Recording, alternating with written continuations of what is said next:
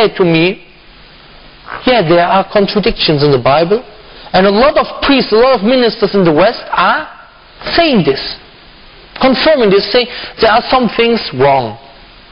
For example, now you find a lot of Christian ministers, priests, bishops, who don't bel- who believe in the, uh, in the theory of Darwin. For example, who say uh, the, the, the, the story of Adam and Eve is only a legend. Like this. But this was not the topic, other topics. So they say, for example, I had a discussion with a priest about Trinity, Trinity and I mentioned to him some uh, contradictions in the Bible, and he said to me, yeah, there are contradictions in the Bible. For example, he, he mentioned also one. He said, yeah, the names of the apostles are in the in the uh, in the uh, in the uh, um, Gospels are different. He mentioned, but it's no problem. You know, but for me at this time when he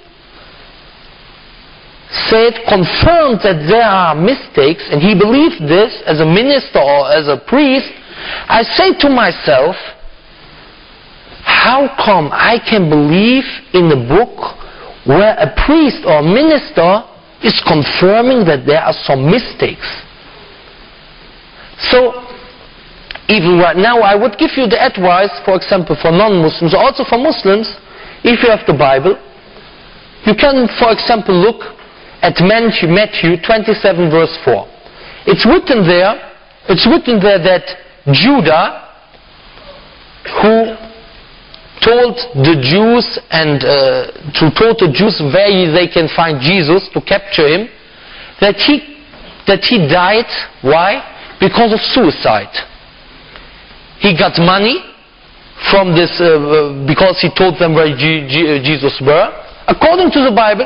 And he took this money and he said to the to the people, to the Jews, to this Pharisee, he said to them, you know, I don't want the money anymore. You know, it's it's not good that I did this. He has a bad feeling about it. And they say, what? We don't want your money.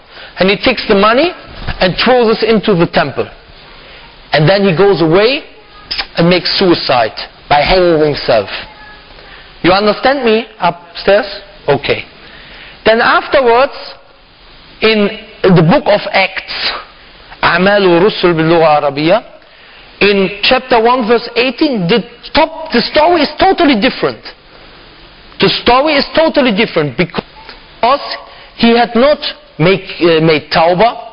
You know that he said, "Oh, I'm sorry. I, it was better if I don't do it." No, he takes the money and buys from this money a field, and on this field he goes in front and he falls down, and his uh, stomach goes like this, and he dies. So it's for me that two at least two con- main contradictions.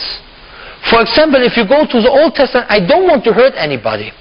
I just mentioned this, and I think you have to understand me as a non-Muslim, as a Christian, and this is for me a clear contradiction.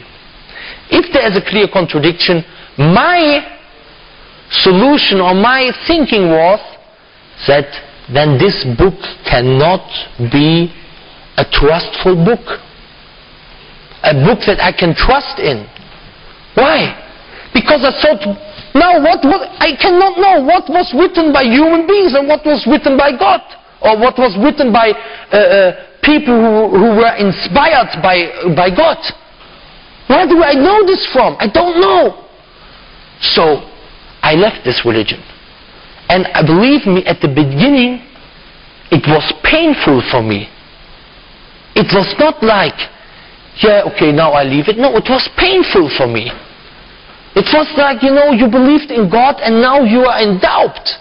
You know, if you don't believe in God or you have doubt about the existence of God, it's like, you know, you have no hope. What will happen afterwards? You are in the darkness now. So, what did I do afterwards? I was around 14 years old. It's a long time ago. What did I do afterwards? So I lived a normal life like every young guy in Germany. But I, of course, I was interested in boxing. I want to be the champion and trained and everything. You know, and there were some important details that happened. You know, with, uh, in, uh, in, in, when I was 15 years old, I was in the German championship and I became uh, number two there. And afterwards, I was, uh, I went to a boarding school. You know, Germany was divided between east part and west part. And in the east part, maybe you know it, they were very uh, motivated for sports, and there were, uh, you know, sports had a very high, uh, high um, status there. So um, I went to a boarding school in East Berlin. You know, it was now all uh, one Germany, but it was still there that there were the trainers from the east side and so on. And Germany was, for example, in the 1988 Olympics in Seoul, it was the last, last Olympics with East and West Germany divided. I think uh, when I remember right, uh, East Germany, the GD, uh, GDR, German Democratic Republic, they were the second or the third place after Russia, as uh, Soviet Union at this time, and USA. But I think even at this Olympics about the second place after Russia, I don't, uh, after Soviet Union, I don't remember anymore, but at least the third place. They were very much stressing on sports, you know, that even in the, in the kindergarten, you know, there came trainers, coach to the kindergarten and they looked, oh, this is a small guy, maybe he's good for ice skating or something, or gymnastics, or this is a tall guy, maybe this is, he's good for basketball or uh, something like this, you know. So they always looked, so they began in kindergarten to look who can be a good sportsman for what, for what, uh, for what sport. So I went there on a boarding school, and it was still the system of a lot of my, uh, my friends, they were still grow, they grew up in this East German system. You know, like, and in this system, the religion had actually almost no, no value because it's influenced by Karl Marx, communist, and we know all that uh, you know religion is for them nothing because they're atheists, and so most people they were atheists. And I, I lost the belief in, in Christianity, but I didn't like it that most people they were atheists, and uh, you know, and I saw the lack of relationship to God and the relationship to other people, you know, how to have to behave to other people, how you have to help. You know, I saw a lack there. So, why I'm mentioning this? I mention this, uh, this to, because there's also a detail what made me afterwards think, think about religions, about the truth in religions. And of course, at this time, you know, I was living like a normal guy in the West, you know going from there to there, and I was very, you know, always thinking sport, sport, sport, sport. I was later on in the national team of Germany in the amateurs and so. And then also when I came back, after I make this uh, Shahada Thanawiya, it's like A level in, in Britain. I don't know how you, uh, what it is in, in America. There's a high school. Uh, yes, after I came out from high school, I went back to my hometown, and I began as a professional boxer in a very famous um, stable there. It's, uh, the, the, there were also some world champions. For example, the world champion now, Valuyev, he was world champion. You know, uh, the heavyweight world champion, he's, he is also from the same manager who was my manager. Wilfried Sauerland is his name. And, you know, I began there to train with the trainer, his name is Uli Wegner. You can see this all in internet. He is the trainer of some world champions like now Arthur Abraham, the former middleweight champion, and before Sven Ottke, Markus Beyer, all world champions, or Torsten, May Olympic gold medalist in Barcelona. So I began there, and at the same time, I began with civil service. In Germany, after high school, you have to choose between army you go like one year or 11 or 10 months to army or to civil service. And I chose the civil service because I wanted to make my boxing training in Cologne. And when you go to army, they send you to any place in Germany. I want to be with my family. Oh, this was the reason. And from this civil service, I benefited a lot. Why? Because, you know, our job was it to bring food to older people, to elderly people who cannot cook for themselves. You know, and you have to realize, you know, a lot of people, they always look to the West. They say, oh, in the West, look how nice it is. All people are happy. This is what you are seeing in the TV. In Germany, for example, it's one of the richest countries in Europe. Every 48 minutes there's a suicide. And you see, for example, that older people are often sent to, to old people's houses because the family is not caring for them. You know, like in the Islamic environment, it's always like this, you know, that the old people get a kind of more respect. Why? Why is this? Because our life in Islam, our vision of life is different. Because you don't think like, yo, I'm living from A to B. Of course, not all people in the West are thinking like this. But a lot. You're thinking not, you're not thinking like, I'm living from A to B 50, 60, 70, 80 years, and the purpose of my life is to get a lot of money or to have fun or something like this. So when there's an old man or old woman in my family, you know, say in my way. I want to go two times a year, I want to go to holidays. What will I do with them? So the best is, and then the Satan comes to you and gives you a nice picture. The best is you send him to old people's house it's a lot of old people, and they can play together with, uh, you know, skat or something like this.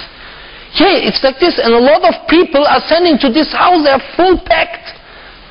And who is not, who will not be sent to this house, I saw them.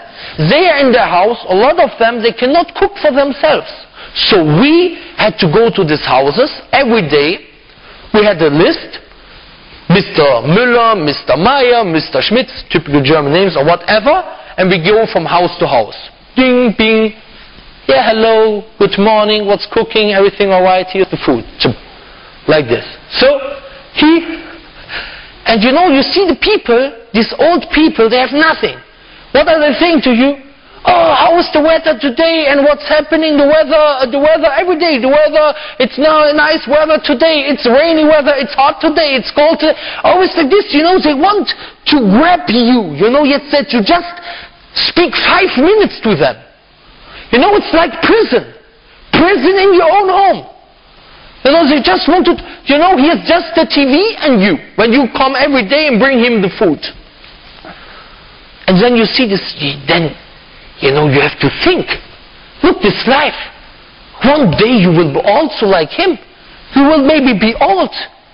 You will maybe not die before, before the 70s, 80s, 90s. You will maybe be old.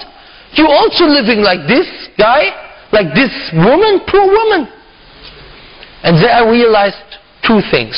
First of all, because I had also Muslim friends, but it was not a direct reason why I accepted Islam.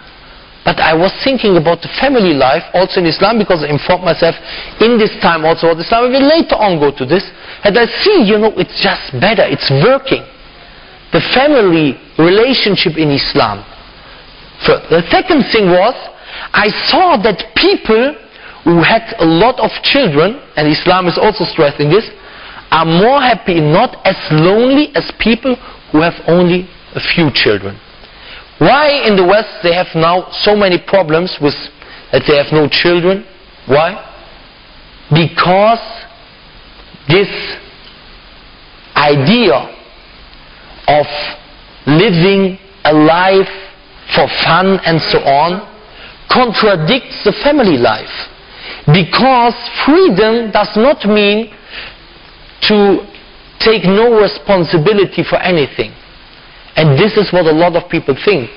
Freedom is often, even if so, nobody commits, uh, if nobody uh, confirms this and says, yeah, it's like this, what you are saying is right, Mr. Vogel. No, nobody says this. But it's, even if subconscious, in, subcon in your, subconsciously it's in your head, freedom is to not take responsibility for anything. And so when you have kids, you have a lot of responsibility. You see these problems in, this, in the society. Then I saw another thing. I saw that people who are religious, and I admit it, people who are religious, even when they are Christians,